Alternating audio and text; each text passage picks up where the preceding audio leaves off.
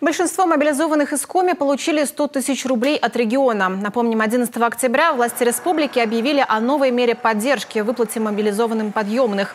Как напомнил председатель комитета по законодательству и местному самоуправлению Госсовета Коми Илья Семяшкин, выплаты назначаются автоматически в соответствии со списками из военкоматов.